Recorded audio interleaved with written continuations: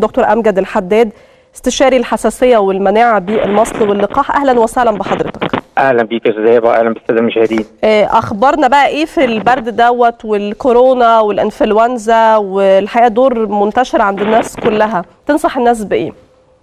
طيب هو إحنا عندنا دور منتشر وعندنا تبعات دور. يعني إحنا بقالنا شهرين في أدوار فيروسية منتشرة برد وإنفلونزا ومخلوي وكورونا بمتحوراته. عندنا الدور نفسه وعندنا تبعات الدور الكحه المطولة. ناس كتير قوي بتشتكي إن عندها كحه بقالها شهر ما بتروحش. هل ده أدوار متعاقبة ولا دور واحد؟ أقول للناس يا جماعة إحنا موسم بمعنى إن أنت ممكن تصاب النهارده ببرد بكرة تصاب بإنفلونزا بعد أسبوع يجي لك مخلوي بعد أسبوع يجي لك متحول كورونا والأربعة نفس الأعراض. نعمة ربنا إن كورونا الآن بقى أعراض جهاز تنفسي علوي زكام ورشح وارتفاع حرارة وكحه من الدرجة المتوسطة. وكل الأدوار متشابهة مش هنقدر نميز أقول للناس هي عدوى تنفسيه هنعمل إيه؟ أول حاجة يا جماعة اللي ما خدش لقاح الإنفلونزا بالرغم من إن إحنا متأخرين لأ ناخد لقاح الإنفلونزا مهم جدا لا يزال موجود ولا يزال مهم حتى مع تأخرنا الا إنه لا يزال مهم لمعظم الفئات مثل الحوامل كبار السن أصحاب الأمراض المزمنة مهم جدا ومرضى الحساسية ناخد لقاح الإنفلونزا وده شيء مهم جدا وضروري.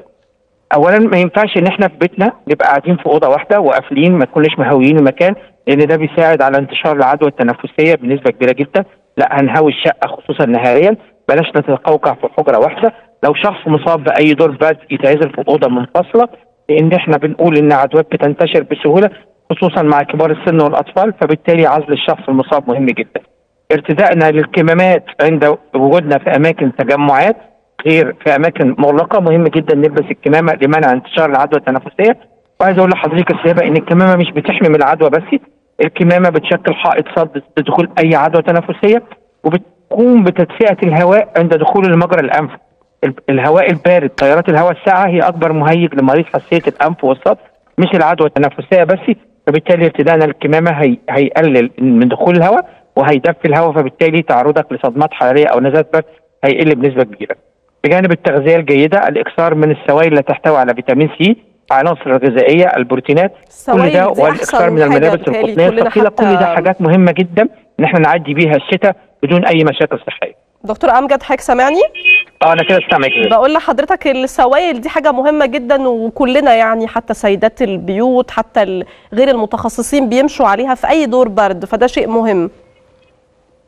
السوائل الدافية مهم جدا جدا جدا جدا اليانسون التليو الحاجات العناصر الغذائية اللي تحتوي على فيتامين سي زي البرتقال والجوافة والكيوي في نزلات البرد مش الكحة لأن طبعا فيتامين سي بيزود الكحة ولكن مع ادوار البرد ننصح بفيتامين سي ننصح بالبرتقال والجوافة ننصح باليانسون. طبعا بجانب ارتدائنا للكمامات والتغذية الجيدة معظم الأعراض خلال من ثلاثة لخمسة أيام بتزول بمجرد خافض الحرارة والسوائل.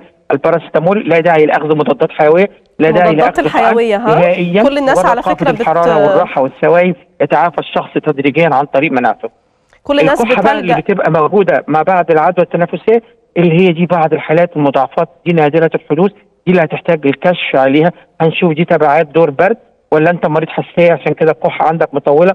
قد نحتاج إلى موسعات قد نحتاج إلى غسول الأنف قد نحتاج إلى بخاخات أنف أو صد في حالات إن الكحة فيها بتكون مطولة. غير ذلك معظم الاضرار الأدوار بيتعافى الشخص.